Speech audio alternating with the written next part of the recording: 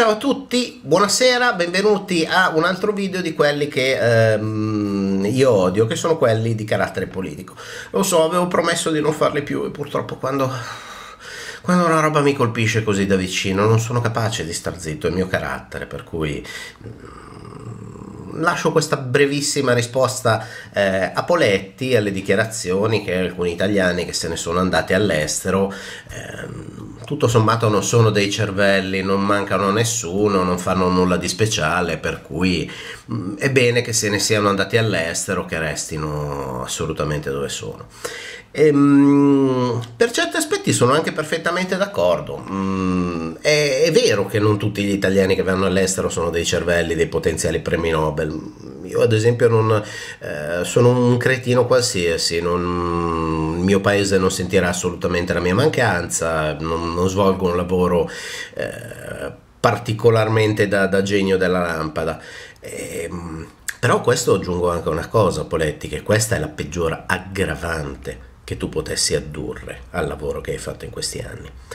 Perché, vedi, quando ad andarsene da un paese è uno che è uno su un milione, è un potenziale premio Nobel e per vincere quel premio Nobel ha bisogno eh, di lavorare in un paese che abbia un acceleratore di particelle da 20 km di diametro. Cazzo ci sta che questo se ne vada. Al CERN ci lavorano francesi, inglesi, eh, australiani, americani, gente di, di tutte le nazionalità che sono il canonico uno su un milione e ci sta che il posto che possa soddisfare quel tipo di esigenze, che possa dare quel tipo di spinta a un genio di quel tipo, eh, cavolo, sia uno su un milione. Ci sta perfettamente. Quello che è gravissimo è quando se ne va un pirla.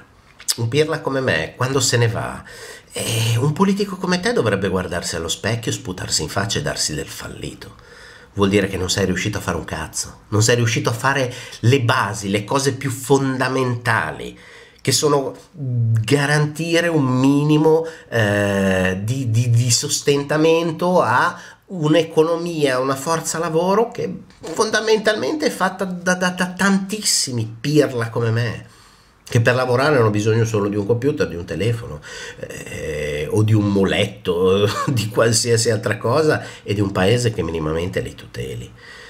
Mi rendo conto che mh, magari questi argomenti non ti colpiscono eh, perché tuo figlio è chiaro che è un genio e io sono sicuro che eh, non c'è stato nessun nepotismo, nessuna spinta a fargli dirigere quel giornale che la tua fondazione controlla. Ci sarà stato sicuramente un concorso pubblico eh, regolarissimo e tra le migliaia di candidati il genio è scaturito.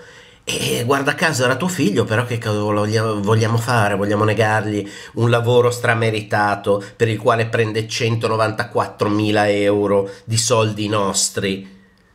Però è un genio.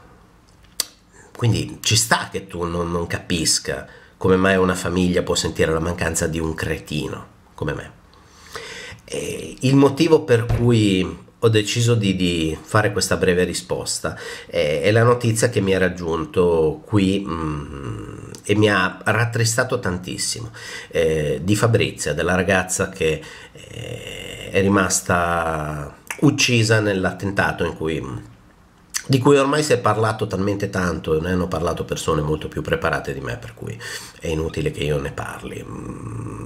È inutile che io ne parli, però eh, capisco perfettamente la, la, la, gioia, la felicità che si può provare in una cosa semplice come visitare un mercatino di Natale, scegliere i regali per i tuoi cari, sapendo che tra qualche giorno li vedrai. Perché sono, sono pochi i giorni che puoi passare insieme alla tua famiglia, perché sei all'estero, perché stai facendo altro. E, mm, quindi immagino quella sensazione di, di felicità sapendo che tra pochi giorni potrai riabbracciare la tua famiglia che ogni istante sarà prezioso, spezzato da un cretino che qualcuno ha convinto che eh, uccidendo persone simili avrà 12 vergini da scoparsi. Poletti, io ti invito ad andare nel paese, nel quartiere di quella ragazza e magari provare a dire che lei non mancherà a nessuno. E spero tanto che quando lo farai agli italiani saranno ricresciute le palle. Mi fai schifo. Buon Natale a te e a tuo figlio.